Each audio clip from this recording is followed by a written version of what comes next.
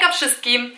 Słuchajcie, pomyślałam, że dzisiaj um, fajnie by było nagrać taki luźniejszy filmik, więc e, oczywiście postawiłam na tak, tak, który krążył mniej więcej rok temu po YouTubie.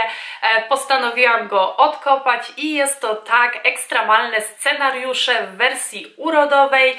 Pytań jest oczywiście 8, ja tutaj pytania mam na telefonie, e, więc co, przechodzimy od razu do nich i pytanie numer 1 brzmi musisz pozbyć się wszystkich swoich podkładów i możesz zatrzymać tylko jeden z wyższej półki i jeden z drogeryjnych. Które to będą? Słuchajcie, jak wiecie albo i nie wiecie, ja jestem osobą, która nie posiada tam, nie wiem, 10 podkładów, bo wydaje mi się, że e, i tak bym ich wszystkich nie zużyła w tym czasie, e, w jakim się je zużyć powinno. Z reguły mam albo dwa podkłady i jakiś CC cream czy BB cream tak jak na przykład na dzień dzisiejszy.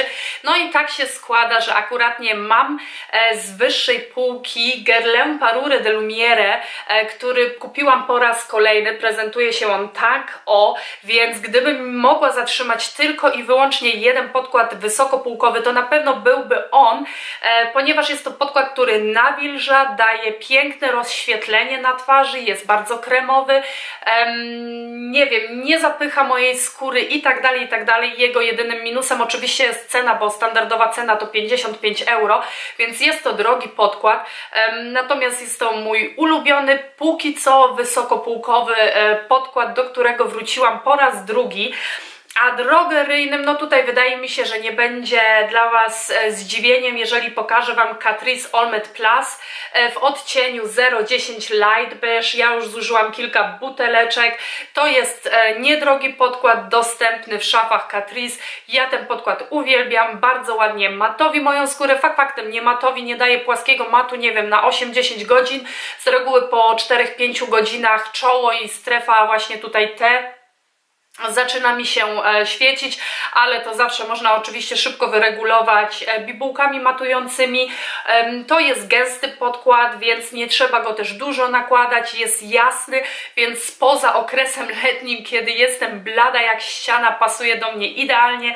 Tak więc to na pewno byłyby te dwa podkłady, które bym zatrzymała. Pytanie numer dwa. Idziesz na rozmowę o pracę i pani przeprowadzająca rozmowę ma szminkę na zębach. Mówisz jej o tym, czy unikasz tematu. Słuchajcie, ja generalnie jestem osobą, która jeżeli coś zauważy, to to powie. Aczkolwiek tu jest taka sytuacja, wiecie, rozmowa o pracę. Hmm.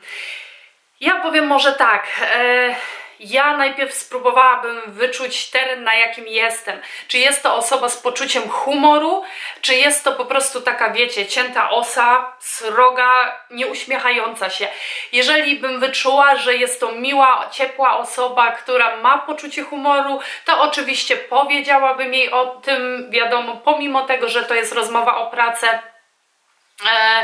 A jeżeli to byłaby taka osa, to siedziałabym cicho, nie odezwałabym i nie patrzyłabym się nawet jakoś, e, powiedzmy, penetrantnie na nią, e, żeby żeby się domyśliła, że coś tam jest, bo tutaj wtedy pewnie e, miałabym złe karty i została skreślona jako kandydat na dane stanowisko. Pytanie numer 3. Masz zły humor, czujesz się nieswojo i chcesz sobie poprawić humor. Jaką pomadkę nałożysz, żeby poczuć się piękniejszą? Słuchajcie, ja posiadam, um, jak dla mnie, dużo pomadek, oczywiście wiadomo, nie jestem w stanie wszystkich zużyć. E, część jest drogeryjna, część jest wysokopółkowa, mam czy to z Estee Lauder, czy z Maca, czy z Shiseido, czy co tam jeszcze, z YSL. z tych takich wysokopółkowych mam ale wydaje mi się, że w ostatnich miesiącach, powiedziałabym tak dwóch, trzech miesiącach, moją ulubioną szminką to jest szminka z Vibo e, z tej serii Elixir. Nie wiem, czy ona w ogóle jest jeszcze produkowana, ponieważ będąc w Polsce nie byłam w Rosmanie, nie sprawdzałam w szafach. Nie powiem Wam w jakim kolorze ona jest, natomiast jest to mega, mega mocno kremowa e, szminka, która ma lepszy odcień moich ust, ja tak zawsze mówię, którą mi się bardzo fajnie używa. No ona oczywiście nie utrzymuje się tam Bóg wie jak długo, bo to jest szminka kremowa, więc szybko schodzi do tego tania jak barszcz. Um, Więc tak, to jest na chwilę obecną taka moja ulubiona szminka i myślę, że właśnie taka tania, zwykła, najzwyklejsza szminka byłaby tą szminką, która poprawiłaby mi humor i e, sprawiła, że moje usta by bardzo ładnie błyszczały, miały taki naturalny kolor i dzięki temu czułabym się piękniejsza. Pytanie numer cztery. Cofasz się na jeden dzień do swoich lat nastoletnich. Co zmieniłabyś w swoim e, makijażu i fryzurze?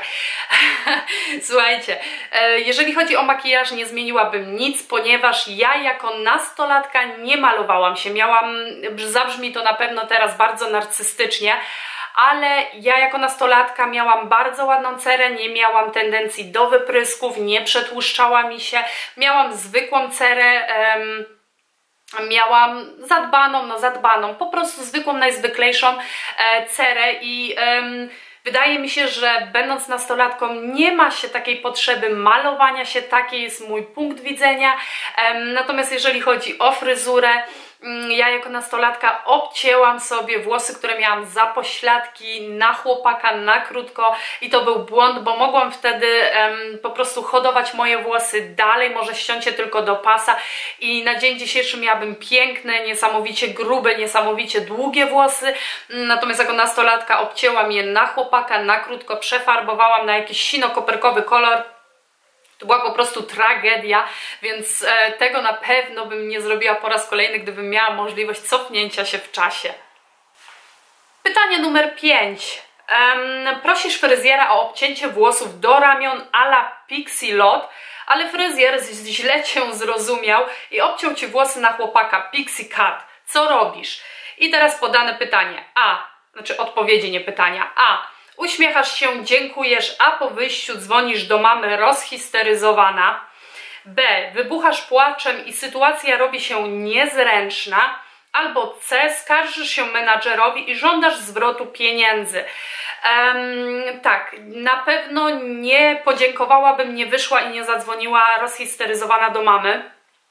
To jedno jest pewne. Um, ja um, jestem osobą, która no, jest relatywnie bezpośrednia, jeżeli coś mi nie, nie pasuje, nie gra, to od razu mówię, podobną sytuację już miałam, więc po prostu najzwyczajniej w świecie um, poprosiłabym o menadżera, um, zdenerwowana na pewno wytłumaczyć bym próbowała tą sytuację i na pewno bym nie zapłaciła i jak mówię, taka sytuacja już mi się raz zdarzyła, Poszłam podciąć końca, e, babka mi ściechała włosy dotąd, bo jej e, e, co chwilę nierówno wychodziło, tak, niestety, więc rozpętałam tam awanturę, powiedziałam, że wychodzę, nie zapłacę, przyjechała policja w Niemczech, jest to prawo konsumenta, jeżeli ja prosiłam o obcięcie samych końcówek i powiedziałam, że nie więcej jak 2 cm, a zostało mi ścięta połowa włosów, no to moim prawem jest po prostu niezapłacenie za usługę, której nie otrzymałam, więc więc po prostu najzwyczajniej w świecie menadżer, awantura i niezapłacenie pieniędzy, nawet jeżeli to dosyć e, ostro brzmi. E, pytanie numer 6. Twój przyjaciel, przyjaciółka robi Ci niespodziankę i zaprasza na czterodniowy wyjazd za miasto. Masz jedną godzinę, żeby się spakować. Którą paletę do wszystkiego spakujesz do kosmetyczki? I słuchajcie, wiecie co, zastanawiałam się nad tym pytaniem, ponieważ paletek mam kilka, ale wydaje mi się, że taką paletką do wszystkiego, do kosmetyczki. Byłaby to paletka z Makeup Revolution Iconic trójka. E, ja ją może Wam otworzę i pokażę od środka, chociaż na pewno już bardzo dobrze znacie. Jak widzicie, tutaj są e, cienie um, z podtonami różowymi i brązowymi, więc z tymi cieniami i na dzień, i na wieczór można sobie wykonać bardzo ładny makijaż. Ja tą paletkę dostałam już jakiś czas temu od Ani Fokusowanej. Do dzisiaj bardzo chętnie z niej korzystam. Naprawdę Ania e, sprawiła mi wtedy niesamowitą radość, tym bardziej, że nie miałam dostępu do kosmetyków z Makeup Revolution i to by była na pewno paletka, która nie jest droga, więc gdyby nawet się zniszczyła, to nie byłoby wielkiej tragedii, która ma świetnie napigmentowane cienie, które ładnie się rozblendowują, która ma różną tonację i na pewno zabrałabym tą paletkę właśnie ze sobą. E, pytanie numer 7. Okradziono Twój dom. Nie martw się, wszyscy są bezpieczni, ale włamywacz splądrował Twoją toaletkę. Heh. O który produkt martwisz się najbardziej i masz nadzieję, że został, że nie został skradziony? Słuchajcie, Mm, ja w swojej toaletce um, posiadam kosmetyki zarówno wysokopółkowe, jak i drogeryjne, ale jakiegoś takiego jednego kosmetyku, e, nad którym bym bardzo rozpaczała, to chyba nie mam, wiecie co? A zresztą co to jest za złodziej, który włamując się do domu kradnie rzeczy, nie wiem, kosmetyki z toaletki. Ja będąc złodziejem, znaczy gdybym była złodziejem, może tak, nie rozumcie tego źle, gdybym była złodziejem i włamała się do czyjegoś domu, to pewnie brałabym rzeczy, które są pełnowartościowe, które, które, za które mogę dostać kupę kasy, a nie kosmetyki, także na to pytanie jednak Wam nie mogę odpowiedzieć. Pytanie numer 8 i ostatnie. Twoja koleżanka pożycza od Ciebie kosmetyki i oddaje w okropnym stanie. Co robisz? A. Udajesz, że nie zauważyłaś, że nic się nie stało. B.